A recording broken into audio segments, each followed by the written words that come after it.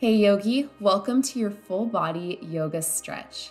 If you're new around here, I'm Amber and I'm so happy you've decided to join me today. During this class, we are going to be stretching out all the major muscle groups to have you feeling your best. And you could do this class first thing in the morning or as an evening wind down, really just any time that you need a quick fix. So go ahead and roll out that mat, grab some water, and let's get started. All right, friends, let's begin seated on our knees at the back of the mat. Go ahead and open your knees out to the sides of your mat Begin to walk your hands forward about a foot, and then you're going to bring your right arm underneath the left, reaching towards the left. Now you can keep the left hand right by your face, or you can walk it up to the top of your mat. Just taking a gentle twist here. Inhale. Exhale out. Looking towards the left.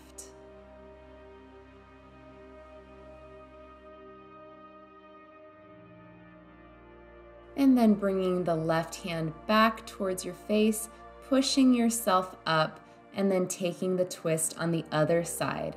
So, threading the left arm underneath the right, bringing the left ear down, and then if you'd like, you can walk your right hand up towards the top of the mat.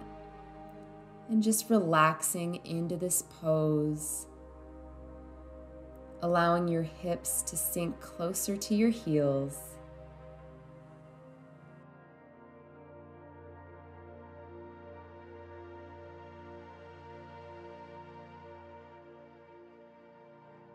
Let's take one more breath here.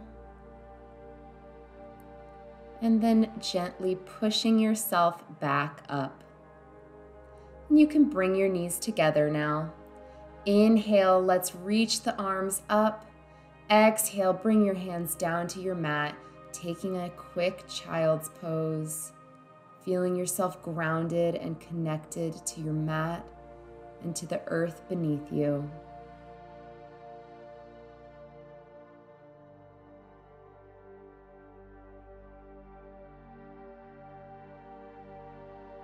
Now I'd like you to look up towards your hands and begin to slide your hands forward, arch your back, coming through a puppy pose all the way into Sphinx pose. Open the chest, drop the shoulders.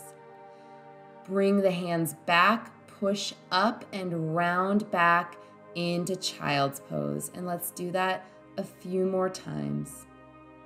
So on your inhale, slide forward, arch the back, all the way into your Sphinx. And on your exhale, slide your hands back, push up, and round back into your child's pose. Beautiful job. And last time, looking forward, inhale, sliding the arms forward. And this time, holding that Sphinx pose.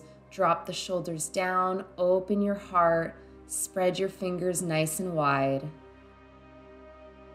Now shifting your weight slightly to the right so that you can lift your left knee and bring it up into the side so that it's in line with your hip.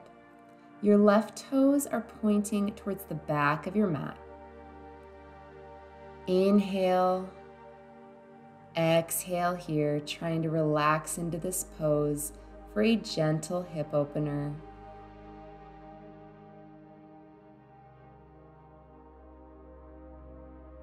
Go ahead and release and then take it to the other side. And you can close your eyes here, softening the space in between your eyebrows. Make sure that you're hugging those elbows in so they're not winging out to the side.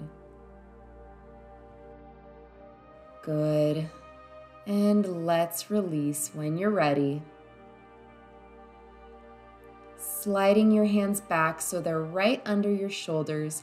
Push yourself up so that you come into a tabletop position, shoulders over the wrists, hips over the knees.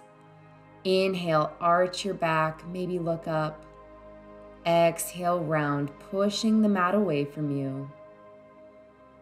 Inhale, arch, smile your collarbones open. Exhale, round, tucking your chin and your tailbone. Inhale. And on your next exhale, let's meet in a flat back. Tuck your toes underneath, walk your hands forward a couple inches, and then lift the hips, press up and back into your downward facing dog. Fingers spread wide, pull the shoulders away from the ears, feet are about hips distance. Inhale up to your tippy toes Exhale, press the heels down. Inhale, lift the heels. Exhale, press them down.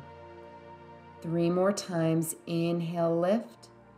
Exhale, press. Two more. And last time. Beautiful. Holding here for one more deep breath.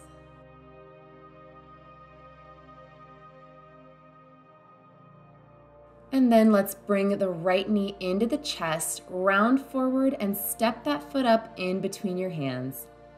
Bring the left knee down to the mat, and when you're ready, inhale, reach up into your low lunge. Grabbing onto your elbows behind your head, and if this is not accessible, you can just interlace your fingers and bring them behind your head.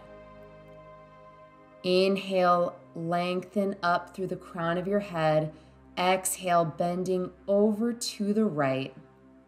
So you're getting a really deep stretch through the left hip flexor here.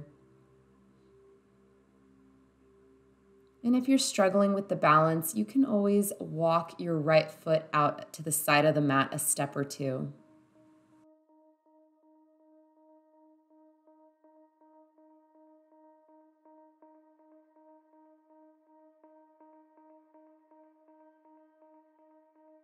And now let's come back up to center. Release the hands. Bring your hands down to your mat. Tuck your back toes. Lift the knee off the mat. Step your right foot back and then lift the hips up into your downward facing dog. Good job. Going right into the other side, bring the left knee into your chest, step it forward in between your hands. Back knee comes down, you can untuck the toes, and then when you're ready, inhale, lift up into your low lunge. Again, taking whatever arm variation you took on the other side. If you did hold on to your elbows, try to grab on the opposite way. Inhale, lift up, reach up. Exhale, bending over to the left. Finding your balance, engaging your core here. And you want to make sure that that front knee is not going past your ankle.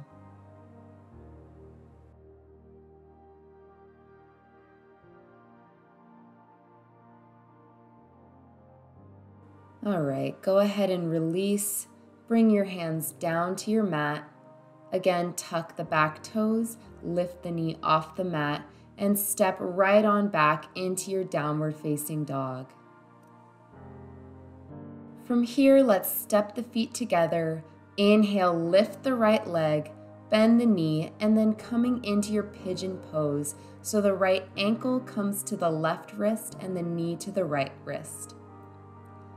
Now you might need to scoot your left knee back a little bit and then you want to make sure that your hips are square so you're not opening your hips out to the side. If you're comfortable, go ahead and come on down to your forearms, or you can come all the way down, placing your forehead on your hands or your mat. Inhale through your nose, exhale out. Now, if this is too much, you're completely welcome to place a pillow or maybe a block under your hips to provide a little more support.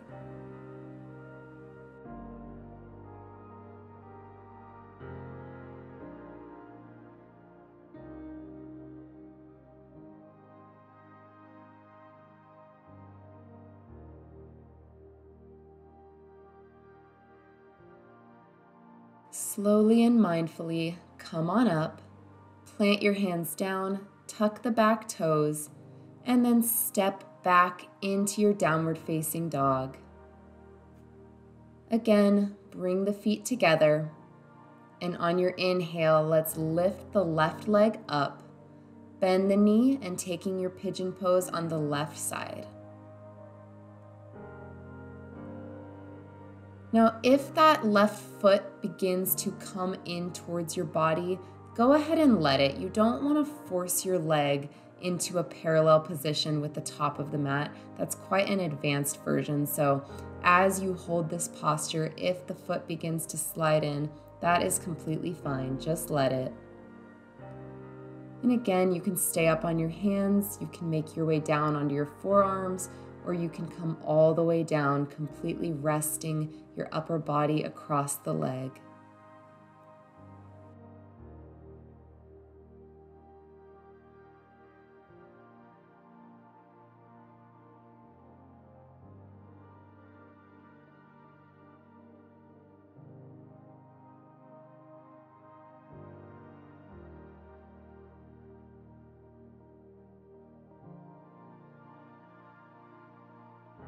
Again, slowly make your way up, coming onto your hands, tuck your back toes, lift the back knee off the mat, and then step back into your downward facing dog. Beautiful, you guys.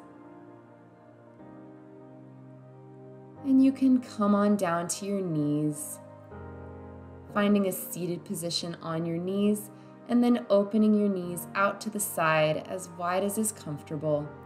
Inhale, reach up. Exhale, bring your hands down, forehead comes down for one more child's pose. And if you'd like, you can actually turn your palms so they're facing up, just surrendering to this moment. Turning your palms up as a symbol of receiving whatever the rest of your day or night has for you.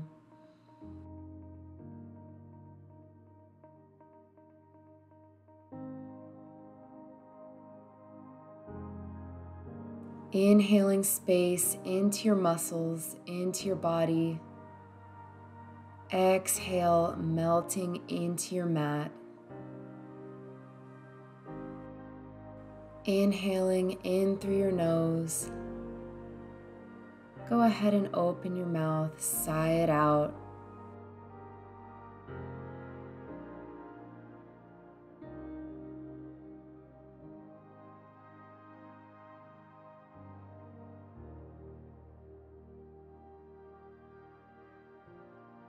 You're welcome to stay here as long as it serves you. However, if you need to come out and continue on with your day or night, and go ahead and make your way up to a comfortable seated position. And once you're there, inhale, reach your arms up. Exhale, bring your hands down to your heart. And one more time, inhale, reach up. Exhale, bring your hands down to your heart. And bowing your head down towards your hands and your own heart thanking yourself for prioritizing your health and your well being. It's been my honor to guide you. Namaste. Thank you so much for joining me for your practice today. If you liked this class, please give it a thumbs up and don't forget to subscribe to my channel so that you don't miss any of my future classes or videos. I'll see you in the next one. Bye.